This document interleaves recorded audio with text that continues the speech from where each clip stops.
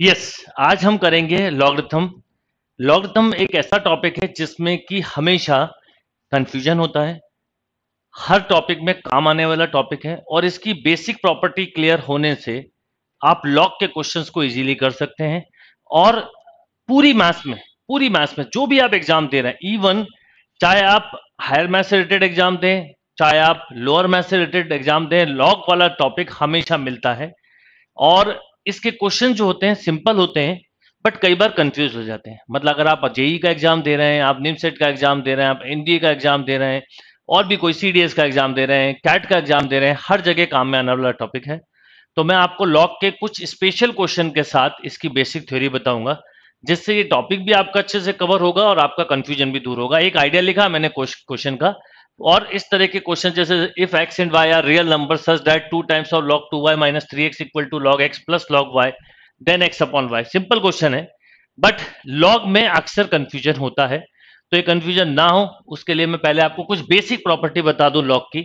Log normally जो है वो कैलकुलेशन को शॉर्ट करने के लिए यूज़ किया जाता है। तो अगर मैं बात करूँ कि लॉग लेते कैसे क्योंकि अगर आपको लॉग की कुछ प्रॉपर्टी आप रिवाइज कर लेंगे तो ये टॉपिक आपका हमेशा के लिए स्ट्रांग हो जाएगा। सबसे पहले मैं बात करूँ कि ए पावर एक्स अगर इक्वल टू बी लिखा है, और मैं बोलूँ लॉग लें तो क्या होगा? टेकिंग लॉग बोथ साइड तो log base a b equal to x यानी लॉग में तीन चीज़ें। एक है बेस एक है पावर एक है कोफिशियंट इसे मैं बोलता हूँ बेस ये पावर और ये कोफिशियंट जब हम इसका लॉग लेते हैं तो जो पावर का बेस मतलब जो बेस है वो लॉग का भी बेस बनता है। जो कोफिशियंट है, जो इक्वल टू है, वो लॉग का कोफिशियंट बनता है और पावर जो है, वो इक्वल टू में आ गई। यानी कभी ऐसा लिखा हुआ है कि टेन क्यूब इक्वल टू हमें पता है वन थाउज़ेंड मैं बोलूँ इसका लॉग लो तो log base ten one thousand की वैल्यू थ्री होगी। या कभी लिखा हुआ है फाइव की पावर फोर हमको पता है कितना? सिक्स ट्वेंटी फाइव मैं बोलूँ इसका लॉग लो तो आप बोलते log base 5 625 equal to four yes और नो एंटी लॉग इसका रिवर्स प्रोसेस है। इसमें काफ़ी अच्छे क्वेश्चंस आपको करवाने वाला हूँ। पूरा सेशन ध्यान से देखिएगा। अपने आप मैं बिल्कुल श्योर हूँ कि इस टॉपिक के एंड होते होते लॉग के सारे कंसेप्ट कवर हो जाएँगे। और फिर इसका यूज़ जहाँ जहाँ होता है, हर टॉपिक में होता है। प्रोग्रेशन पढ़ रहे हैं तो होगा बाइनोमल पढ़ रहे हैं तो होगा कैलकुलस पढ़ रहे हैं तो होगा क्वांटिटी एप्टीट्यूड पढ़ रहे हैं तो होगा, कहीं पे भी लॉक का यूज़ आ जाता है। यस जैसे मान लीजिए लिखा है सिक्स का क्यूब। आपको पता है क्या होता है? टू वन सिक्स तो log base six, two one six की वैल्यू थ्री होगी। एंटी लॉग इसका रिवर्स प्रोसेस है। मान लीजिए कभी ऐसा लिखा log base a b equal to c तो क्या होगा बेटा?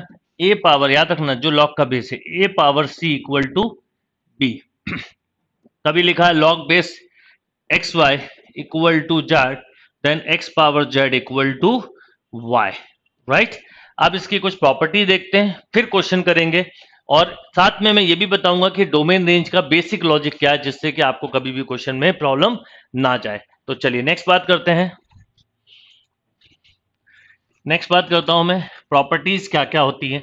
आपने कई सारी प्रॉपर्टी पढ़ी है पर कहाँ पे कौन सी मिस्टेक करते हैं वो बताऊँगा। और एक खास बात आपने देखी होगी कि आ, जब हम क्वेश्चंस करते हैं कैलकुलस में इनफैक्ट एक टॉपिक है पूरा डिफरेंशिएशन ऑफ़ लॉगरिथमिक फ़ंक्शन वहाँ पे भी बहुत यूज़ होगा। तो पहले प्रॉपर्टीज़ की बात करें तो number one log m into n आपने ये पढ़ा है, पर इसमें क्या मिस्टेक होती है मैं बताता हूँ। Log m plus log n right जैसे लॉग इसको जनरलाइज करें m into n into p तो हो जाएगा log m plus log n plus of log p या लॉग इस, अब एक इंपॉर्टेंट बात, ऐसा कोई फॉर्मूला नहीं होता। मैं साथ में ये भी बताऊँगा कहाँ कहाँ मिस्टेक होती है। Log m plus n not equal to log m plus log n right ये अक्सर मिस्टेक होती है। कई बार ऐसा लिखा होता है log two plus log three जल्लेबाजी में हम लिख देते हैं लॉग टू इंटू थ्री और फिर लिख देते हैं लॉग फाइव ये ध्यान रखना ऐसा नहीं होता है। ये जो मैं कट कर दू ना लिख के, ये आप लिख के कट ज़रूर करना। ये जब आप एग्ज़ाम दे रहे होंगे तो आपको ये मेरी बात याद आएगी कि सर ने ऐसा बोला था, उसका रीजन समझ में आएगा। या मान लीजिए, मैं आपसे बोलूँ कि लॉग जैसे लॉग सिक्स लिखा है तो लॉग सिक्स को लिख सकते हो आप लॉग लॉग सिक्स को लिख सकते हो log two into three and this is log two plus log of three right अब क्या होता है, कई बार, अब एक चीज़ बताता हूँ मैं आपको। कभी कभी ऐसा होता है, आपको लगता है ऐसा, पर ये एक्चुअल में नहीं है। One into two into three लिखा है। सिक्स को ऐसा लिख सकते हैं? तो आप इसे ऐसा भी लिख सकते हो लॉग वन लॉग वन वैसे ज़ीरो होता है, क्यों होता है बताऊँगा। लॉग टू और लॉग थ्री राइट तो अब ये बात, ऐसा कई बार लोग बोलते हैं कि सर एक्चुअल में लॉग सिक्स था, हमने उसको ऐसा लिख दिया। Log one plus two plus three और फिर हमने उसको ऐसा लिख दिया। तो वो बाई चांस कि one into one into two into three six होता है, और one plus two plus three भी कितना होता है? सिक्स पर ये इसके वजह से नहीं होता। यानी हम प्लस के लिए कोई फॉर्मूला यूज़ ना करें। बाकी कभी कभी कुछ वैल्यू में इसलिए सेम हो जाता है, वो आपको समझ में आ गया होगा। जैसे मैं बोलूँ आपसे कि लॉग फोर तो लॉग फोर को कोई बच्चा टू प्लस टू लिख ले और एक बच्चा लॉग टू इंटू टू लिख के ऐसा भी लिख सकता log two plus log two और फिर वो बोले कि सर ये देखो, ये ऐसा भी तो लिख सकते दोनों बराबर है। पर एक्चुअल में वो मल्टीप्लाई से बना। वो क्योंकि टू इंटू टू भी फोर होता है टू प्लस टू भी फोर होता है, इसलिए ऐसा हो गया। पर आपको मैं सलाह ये दूँगा कि आप ध्यान रखिए प्लस के लिए कोई हमारे पास फॉर्मूला नहीं होता मल्टीप्लाई में ही होता है। चलिए नेक्स्ट क्वेश्चन की नेक्स्ट प्रॉपर्टी की बात करूँ। अच्छा ये प्रॉपर्टी आपको बहुत काम आने वाली है, इनमें कहाँ कहाँ मिस्टेक्स होंगी वो बताता हुआ चलूँगा, जिससे आपको कोई प्रॉब्लम ना आ जाए। जैसे मैं बात करूँ लॉग एम बाय एन क्या होगा log m by n log m minus of log n right log m minus log n next अब बात करते हैं लॉग एम पावर एन अगर पावर कोफिशियंट में कोई पावर है तो हम ऐसा लिख सकते हैं इसको एन लॉग एम ओके इसीलिए आप ध्यान दीजिए क्या होता है। जैसे मैंने आपको लिखा कि log base five into six twenty five equal to four ये कैसे लिखा वो बताता हूँ। लॉग फाइव ये हो गया फाइव पावर फोर फोर आगे आ गया तो log five five log five five one तो क्या मिला? फोर तो रिज़ल्ट क्या आ गया? आपको रिज़ल्ट मिल गया फोर यस और नो तो अब याद रखिएगा ए पावर अगर वन लिखा हो तो क्या होगा? ए बेटा। इसलिए अगर हम इसका लॉग लें तो लॉग बेस ए वन यानी अब हमारे पास एक कंसेप्ट आ गया कि लॉग का बेस और कोफिशियंट सेम हो तो रिज़ल्ट इज़ ऑलवेज वन जैसे मैं बोलूँ log three three then one log five five then one log six six then one है ना? ये हो गया. नेक्स्ट बात करते हैं. नेक्स्ट बात करता हूँ. कि मान लीजिए ऐसा दिया हुआ लॉग एम बाय एन तो आपने लिख दिया एन लॉग एम पर कभी कभी बेस में भी पावर होती है. ये फॉर्मूला हम कई बार कम यूज़ करते हैं. ये भी करना आना चाहिए.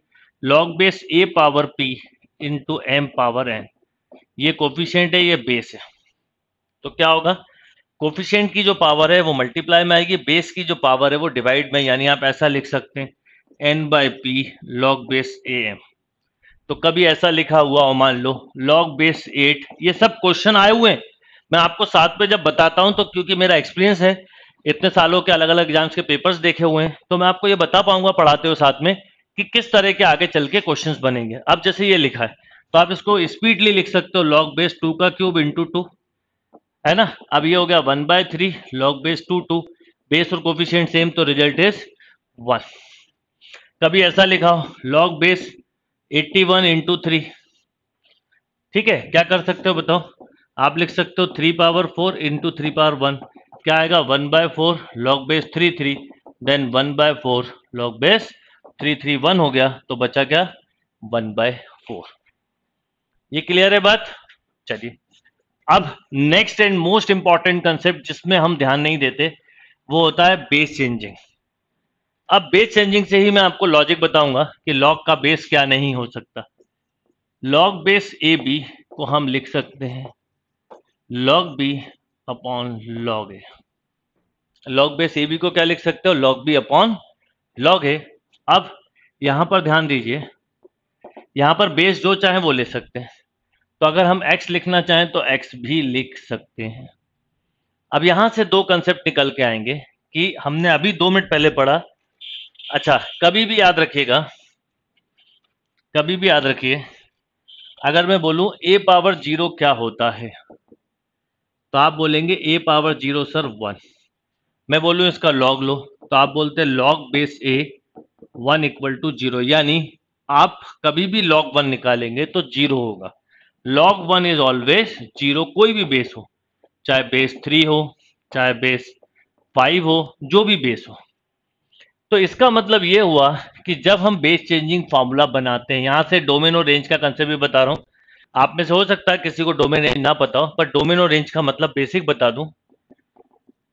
डोमेन मतलब होता है input set of all possible value of x when function is defined range मतलब होता है आउटपुट यानी इनपुट ऐसा दिया जाता है जिस पर फ़ंक्शन डिफाइंड हो और उसके करस्पॉन्डिंग रिज़ल्ट को हम रेंज बोलते हैं। ये हम डोमेन रेंज में ही पढ़ेंगे फ़ंक्शन में जस्ट फॉर आइडिया दिया आपको मैंने। तो अगर जैसे लिखा हुआ है लॉग बेस ए बी है ना? क्या लिखा हुआ मान लो? लॉग बेस ए बी तो क्या होगा कि आपने इसे ऐसा लिखा log b upon log a अब एक चीज़ समझ लीजिए कि अगर थोड़ी देर के लिए मान लीजिए ए वन होता तो क्या होता? आप ऐसे ही लिख रहे होते। Log b upon log one और लॉग वन ज़ीरो हो जाता और अपॉन में ज़ीरो होने पर अपॉन में ज़ीरो होने पर ये नॉट डिफाइंड हो जाता। यस और नो तो एक चीज़ समझ में आई। अब मैं आपको यहाँ से, मैं कंसेप्ट के साथ ही आपको पढ़ाऊँगा पूरा। तो अब आपको एक चीज़ यहाँ पे समझ में आई कि अगर y equal to log base a b लिखा है तो ए की वैल्यू कभी भी ए की वैल्यू कभी भी वन नहीं हो सकती। ये पहला लॉजिक आपको समझ में आया होगा। दूसरा, क्या बेस या कोफिशिएंट नेगेटिव हो सकते हैं कि नहीं? ये भी हम लॉजिक से समझे। हम किसी भी नंबर की पावर निकालें। हम टेन पावर टू निकालें। हम टेन पावर माइनस टू निकालें।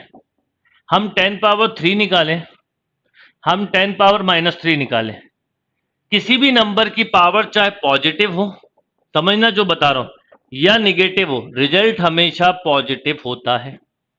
या सो नो इसका मतलब यह हुआ कि कोई भी पावर हम लेते हैं जब यहाँ पर तो हमें रिज़ल्ट पॉजिटिव मिलता है।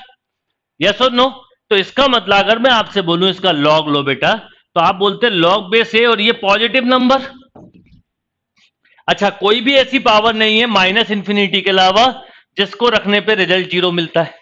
इंफिनिटी इनपुट नहीं होता। तो एक और बात समझ में आई कि ये जो बी है, ये जो बी है, ये जो बी है, वो हमेशा पॉजिटिव होना चाहिए। यानी b is always greater than zero right आप रीजन समझो। कई बार क्या होता है, हमें ये पता ही नहीं होता कि ऐसा क्यों हो रहा है। मैं आपको डायरेक्ट क्यों नहीं करवा रहा हूँ? क्योंकि धीरे धीरे आपके कंसेप्ट बिल्ड करते हुए करवाऊँगा तो आपको जल्दी समझ में आएगा। तो यहाँ पर एक बात समझ में आई कि y equal to log base a b तो यहाँ पर b क्या होगा? B होगा ग्रेटर देन ज़ीरो या सो नो अब b ग्रेटर देन ज़ीरो का मतलब हुआ कि निगेटिव नहीं हो सकता। रीजन आपको समझ में आ गया कि यहाँ पर जो भी रिज़ल्ट हो, चाहे पावर पॉजिटिव हो, सुनो। चाहे पावर पॉजिटिव हो, चाहे पावर निगेटिव रिज़ल्ट तो पॉजिटिव आएगा। और ये जब हम लॉग लेते हैं तो ये लॉग का कोफिशियंट बनता है। तो इसका मतलब ये रिज़ल्ट कभी निगेटिव नहीं हो सकता। एक बात अच्छा अगर हम बेस चेंजिंग से देखें तो बेस भी लॉग का कोफिशियंट बन सकता है।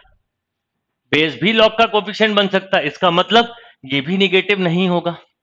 लॉजिक भी है, ये भी निगेटिव नहीं होगा, और साथ में क्या नहीं होगा? वन तो इसका मतलब हमें दो चीज़ें और यहाँ पर समझ में आई कि जब हम लॉग पढ़ते हैं, ये बात बहुत कम समझ में आ पाती कई बार। ये सबसे इंपॉर्टेंट चीज़ है कि जब हम लॉग पढ़ते हैं तो लॉग y इक्वल टू जब ऐसा लिखा होता है लॉग x बेस कुछ भी ले लो, चाहे तो ए भी ले ले, चलो। तो अब आपके लिए एक कंसेप्ट बनाने को हो गया, आगे तक के लिए, कि इसमें a b greater than zero होना चाहिए और a not equal to one भी होना चाहिए। यानी लॉग का बेस जीवन भर याद रखो लॉग का बेस पॉजिटिव भी होगा और वन नहीं होगा. बाय क्योंकि लॉग वन ज़ीरो था. और बी हमेशा ग्रेटर देन ज़ीरो ही होगा. ये दो बातें अगर आपके दिमाग पर रहेंगी तो कॉम्पिटिव एग्ज़ाम में आने वाले क्वेश्चन आपसे गलत कभी भी नहीं होंगे.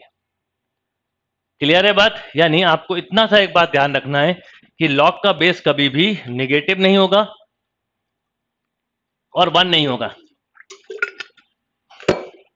और कोफिशिएंट भी कभी कोफिशिएंट भी कभी निगेटिव नहीं होगा। उसका रीजन भी बेस पावर से लॉक की जो डेफिनेशन है, उससे बना हुआ है।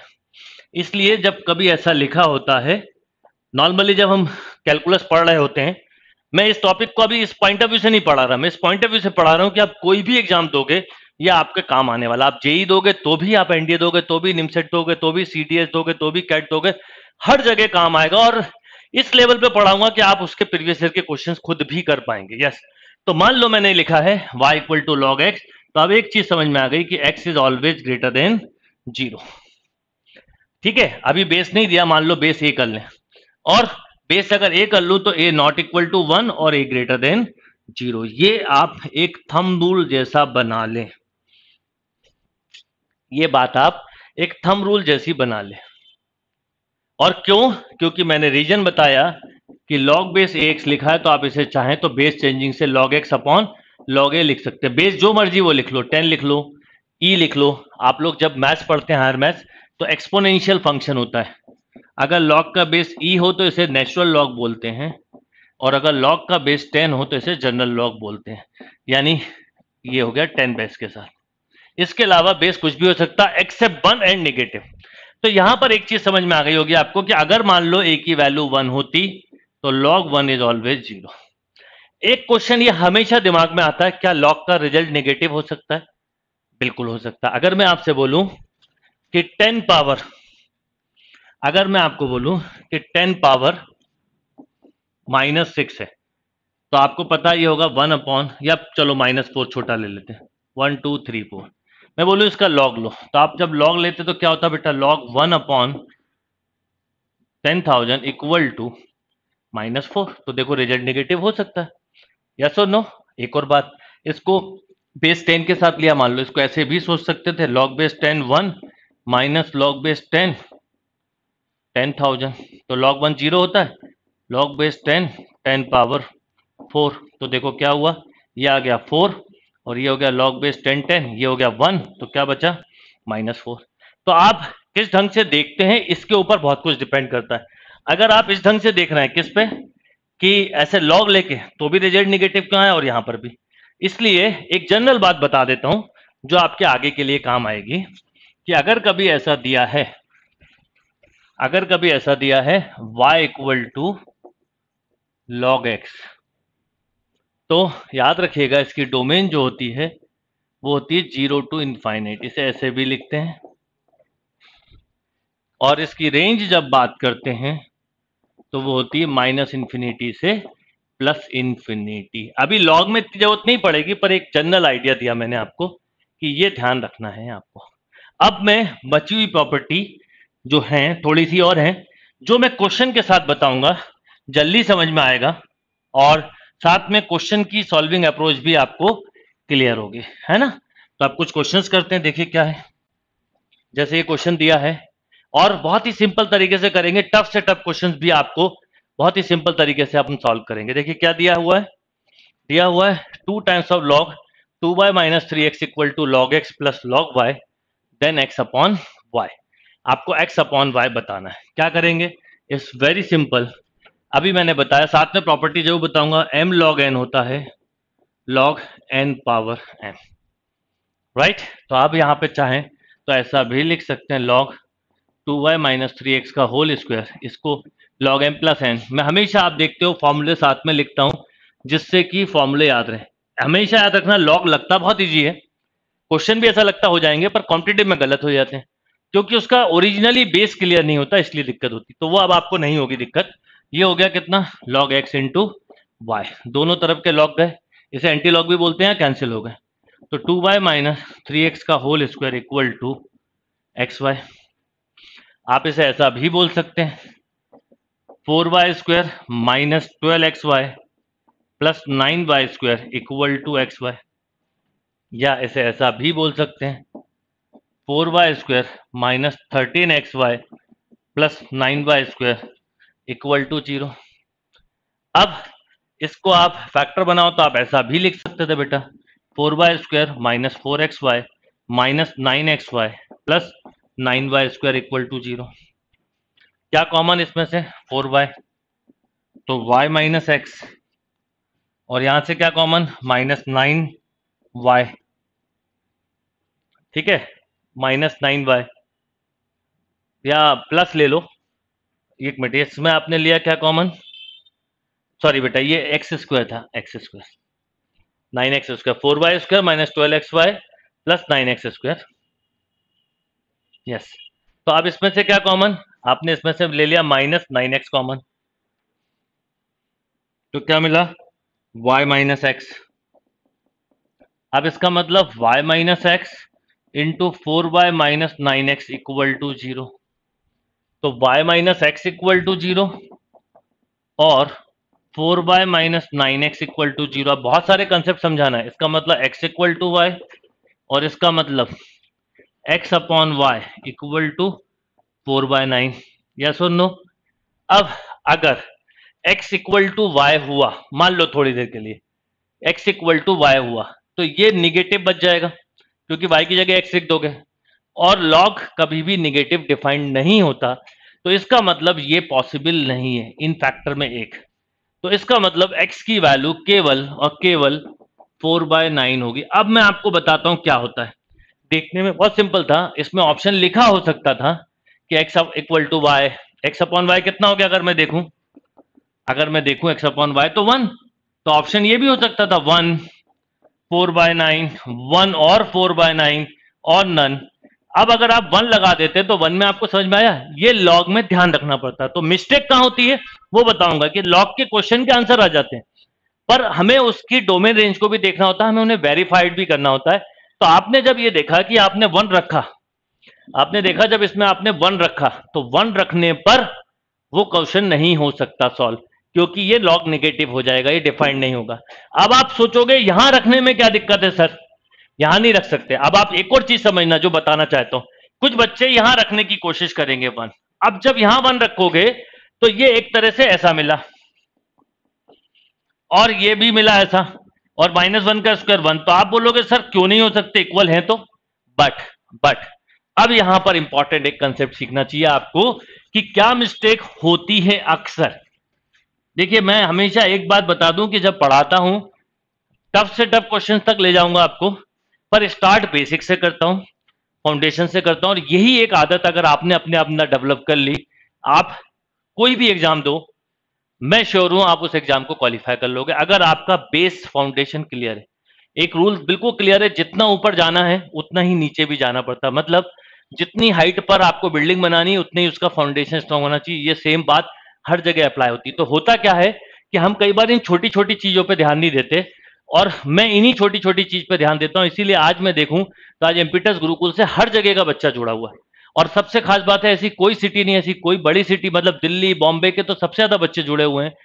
वो इसलिए कि जब आप पढ़ते हो कहीं तो आपको समझ में आता है, ये बेसिक तो कवर हुआ ही नहीं था, और जबकि इसके वजह से ही आपसे आगे मिस्टेक्स हो रही तो मैं आपको एक बात बोलूँगा, पढ़ाई ऐसे करो कि आपका बेसिक बहुत अच्छे से क्लियर हो। अब जो मैं बात बताने वाला हूँ, सुनिए, क्या होता है, अगर कभी ऐसा लिखा हो, a, b equal to b c तो a b minus b c equal to zero b common लिया. तो ए माइनस सी तो b not equal to b equal to zero और बिल्कुल ठीक है है ना?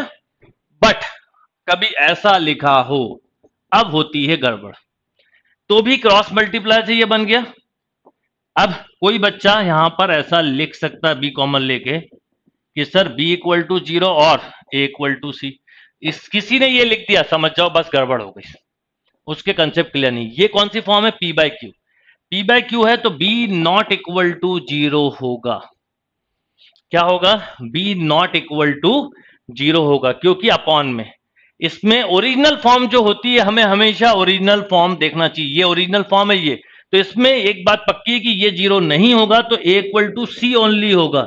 जबकि इसमें दोनों होंगे। ये छोटी छोटी बात है। तो आपने अगर यहाँ रखा तो सेटिस्फाई कर जाएगा, पर ओरिजिनल क्वेश्चन ये नहीं था। ओरिजिनल क्वेश्चन ये था। यही रखना था आपको जब ही आपका सही होता। नहीं तो आपका गलत हो जाता। अब फोर बाय नाइन में कोई दिक्कत नहीं है। मतलब आप एक्स के प्लेस पर फोर बाय नाइन रख दीजिए, आपको सही आंसर मिल जाएगा। तो ये छोटी छोटी बातें जो मैं अभी बताऊँगा और भी। तो आप ये ध्यान रखिए कि जब आप ये क्वेश्चन टॉपिक करें या कोई भी टॉपिक मैथ्स का करें तो उसका बहुत स्ट्रांग बेस बनाए, उसके बाद करेंगे तो आपसे कभी भी मिस्टेक नहीं होगी। नोट कर लीजिए। यस नेक्स्ट क्वेश्चन देखते देखिए नेक्स्ट क्वेश्चन में क्या बोला गया है? If log base 10 to log base 10 to power x minus 1 and log base 10 to power x plus 3 are three conjugative term of an AP then the value of x. अब देखिए question कहने को log का है। पर ये question exam में जब आया होगा तो इसे प्रोग्रेशन का भी मान सकते हैं लॉग का भी। तो लॉग के साथ यही होता है, हर जगह यूजफुल टॉपिक है, इसीलिए मैंने बोला कि इस टॉपिक को पढ़ाते समय आपको हर एग्ज़ाम में काम आने वाला टॉपिक है और बहुत सारी चीज़ें समझनी होती है। और बहुत जगह इसमें कंसेप्ट भी काम आते हैं लॉजिक भी। जैसे इस क्वेश्चन को अगर मैं समझूं तो मैं इसको ऑप्शन से भी कर सकता हूँ। जैसे वन ऑप्शन में नहीं रख सकता बिकॉज़ वन रखने पर टू पावर वन नहीं वन रख सकते हैं वन आएगा, ठीक है, कोई दिक्कत नहीं। पर फिर भी चांसेस किसके वो बताता हूँ।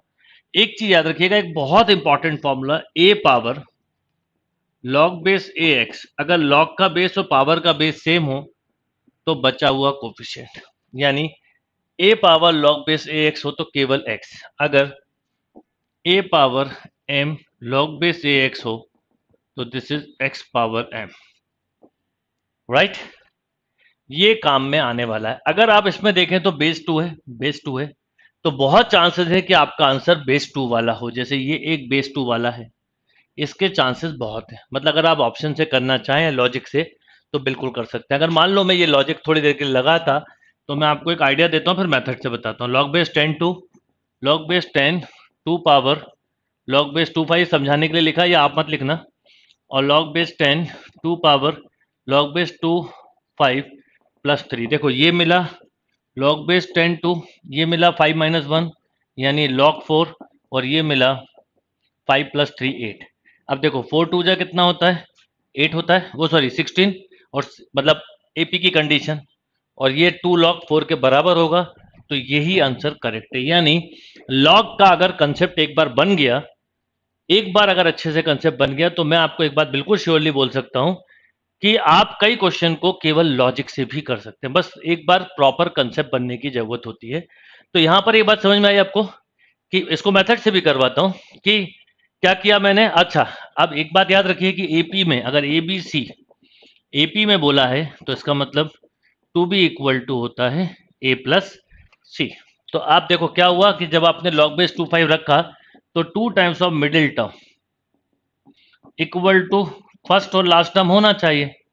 अब देखो लॉग एम इंटू एन लग गया तो ये हो गया लॉग सिक्सटीन और यहाँ एम पावर एन है तो ये भी लॉग सिक्सटीन दोनों इक्वल हैं, इसलिए ये आंसर करेक्ट है। यानी आपके अगर कंसेप्ट क्लियर होते तो आपको इसमें मेथड की ज़रूरत ही नहीं पड़ती, आप इसको ऑप्शन से भी इजीली कर देते। एक और क्वेश्चन बताता हूँ। पहले इसको अगर मान लो अब मेथड से करना होता तो क्या करते, वो बताए तो। थ्री कॉन्जुगेटेड टर्म का आता था? लगातार टर्म और एपी बोला है तो एपी की कंडीशन ही होती। है आप इसे मेथड से करते तो ऐसा करते two times of mid term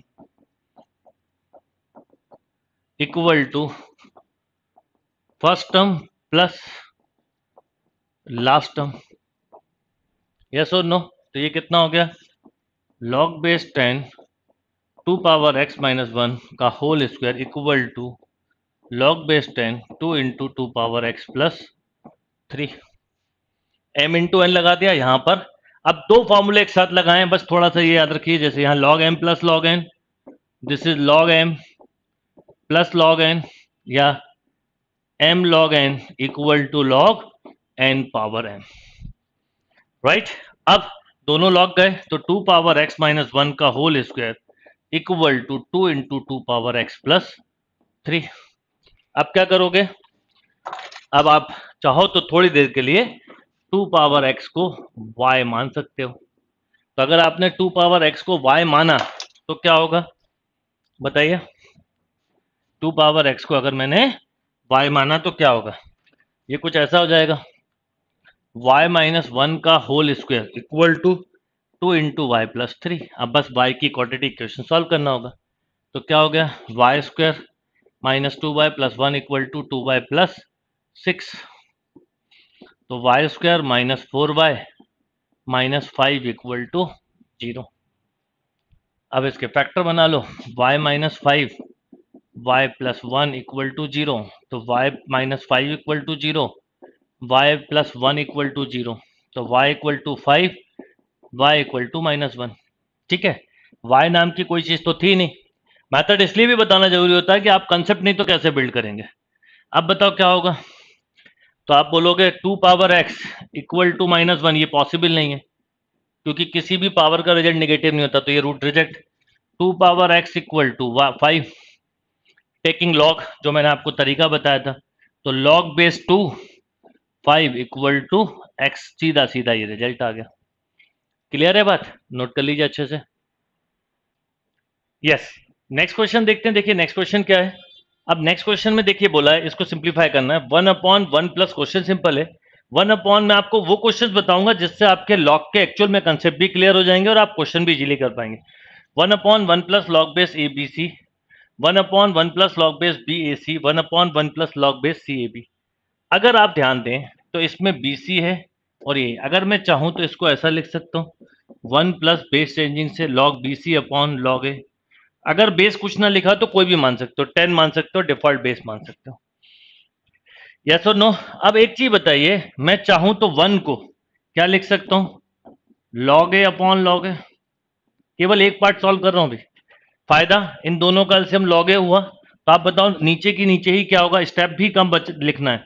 log ए तो ये हुआ log a plus log b c अच्छा इसी को अगर थोड़ा और सॉल्व करें तो ये हो गया one upon log m plus log n log m n तो a b c upon log a तो एक तरह से ये ऊपर चला गया तो log a upon log a b c आया। क्यों बेटा? इसका मतलब ये भी वही रिज़ल्ट आएगा, यानी इसका रिज़ल्ट आया log a upon log a b c yes और नो तो सिमिलरली इसका रिज़ल्ट क्या आएगा बेटा? Log b upon log a b c similarly इसका रिज़ल्ट क्या आएगा? Log c upon log a b c अब तीनों का एल्सियम क्या आ गया? कंसेप्ट बिल्ड के लिए दिया question log a b c तो क्या होगा? Log a plus log b plus log c तो ये फाइनली क्या मिलेगा? Log a b c upon log a b c दोनों कैंसिल तो result will be one clear है बात? यानी इसको फिर से आप बेटा ब्रेक करोगे तो ऐसा लिखते हैं log a c upon log b और इस वन को लिख लेते हैं log b upon log b तो ये रिज़ल्ट आ जाता। सिमिलरली ये रिज़ल्ट आ जाता। नोट करिए नेक्स्ट क्वेश्चन करते हैं फिर। यस नेक्स्ट क्वेश्चन देखते हैं, देखिए क्या है। One upon log base two n plus one upon log base three n plus one upon log base four n up to one upon log base fifty five n n greater than one दिया है। कितना भी हो सकता है यहाँ पर fifty five से ज़्यादा भी हो सकता है। ऑप्शन दिए हुए हैं ऑप्शन की ज़रूरत नहीं है। बहुत ही सिंपल से लॉजिक पर बेस्ड है। देखिए, ये टू है, ये थ्री है, ये फोर है, ये फिफ्टी फाइव है। तो इसका मतलब हम सीधा सीधा लिख सकते हैं इसका result one upon log base factorial में फिफ्टी फाइव एन कैसे? देखिए, बहुत ही सिंपल लॉजिक है, इसको बेस चेंजिंग से लिखते। तो one upon log n upon log two लिखते हैं बेटा। लॉग टू ऊपर आ जाता है तो मैं यहाँ पे डायरेक्ट लिखता हूँ। आप लिखते हैं log two by log n plus इसमें लिखते हैं log three by log n plus इसमें लिखते log four upon log n ऐसे चलता जाता है और ये लिखते log fifty five upon log n yes और नो अब वन अपॉन लॉग एन एल्सियम आ गया। तो ये आपको न्यूमरेटर कुछ ऐसा मिला two plus three plus four तो ये एम एन पी क्यू हो जाएगा। तो आप ऐसा लिखोगे two three four up to fifty five upon log n one नहीं है वन तो मल्टीप्लाई कहीं भी मान सकते हो वन से फिफ्टी फाइव मतलब फैक्टोरियल फिफ्टी फाइव तो ये हो गया log factorial fifty five upon log n मैंने अभी आपको बताया था log a by log b दो चीज़ें, इसको ऐसा भी लिख सकते हो लॉग बेस बी ए अगर ऊपर गया तो नीचे वाला बेस बनेगा, नीचे आया, यही चीज़ तो अब आप ऐसा भी लिख सकते हो one upon base a b तो अब आपके ऊपर है, हो सकता आंसर ऐसा दिया हो। लॉग बेस एन फैक्टोरियल 55 या हो सकता है आंसर ऐसा दिया log base 55 factorial into n दोनों ही एक ही बात है, ध्यान रखिएगा। Log base a b equal to one upon log base b a तो आपको दोनों में से कोई भी एक आंसर दिया जा सकता है। नोट करिए। यस नेक्स्ट क्वेश्चन देखते हैं। देखिए क्या है। फाइंड द वैल्यू ऑफ़ 81 की power 1 upon log base 53 plus 27 की पावर लॉग बेस 936 प्लस 3 की पावर 4 अपॉन लॉग बेस सेवन नाइन अब इस क्वेश्चन का आंसर बताना है। का, क्वेश्चन काफ़ी सिंपल है। सबसे पहले ध्यान रखिएगा। ये अपॉन में दिया मैंने अभी आपको बताया। Log a b equal to one upon log b a पहले तो ये ध्यान रखिए। दूसरा जैसे एक चीज़ याद रखिए। A power log base a x लिखा हो तो हमेशा रिज़ल्ट होगा एक्स और a power m log base a x हो तो रिज़ल्ट होगा एक्स पावर एम तो जैसे यहाँ पर ध्यान दूँ तो ये थ्री की पावर फोर है और इसको आप चाहो तो लिख सकते हो log base three five yes or no ये है थ्री की पावर थ्री इसको लिख सकते हो लॉग बेस थ्री का स्क्वायर इंटू थर्टी सिक्स ही रहने दो, अभी बाद में लिख देंगे। प्लस ये है थ्री की power four log base nine seven yes और नो अब चाहें तो मैं इसे ऐसा लिख सकता हूँ three power log base three five की पावर फोर प्लस इसको मैं लिख सकता हूँ, ये अपॉन में टू आ जाएगा मल्टीप्लाई अच्छा ये सिक्स का स्क्वायर है तो ऐसा भी लिख सकते हो। थोड़ा ध्यान दीजिएगा ना? ये ऐसा है log base three square six का स्क्वायर तो मैं ऐसा लिख सकता था, चाहूँ तो। Two by two log base three six तो मैं चाहूँ तो डायरेक्ट लिख देता हूँ थ्री की पावर थ्री और इसको क्या लिख सकता हूँ? Log base three six plus three की पावर लॉग बेस ये थ्री का स्क्वायर लिख सकते हो? चाहो तो फोर थ्री का स्क्वायर बाय सेवन अब देखिए क्या हुआ, ये इससे कैंसिल तो फाइव पावर फोर यानी सिक्स ट्वेंटी फाइव ये सिक्स का क्यूब मिलेगा एक तरह से बेटा। तो टू वन सिक्स और यहाँ पर ये टू डिवाइड हो जाएगा। पहले ध्यान रखना, ऐसा आएगा। थ्री की power four by two log base three seven है ना? तो ये टू बचेगा, यानी फोर्टी नाइन ये कितना हो गया? फोर्टी नाइन अब आप इन सबको ऐड कर दो तो कितना आ जाएगा? एट नाइनटी तो ये इसका राइट right आंसर हो गया। यानी लॉग के क्वेश्चंस करने, कभी भी टफ अभी और भी प्रैक्टिस करो क्वेश्चंस की। अगर प्रॉपर्टी पे कमांड है बेसिक क्लियर है तो आप बहुत इजीली क्वेश्चंस को कर सकते हैं। नोट करिए।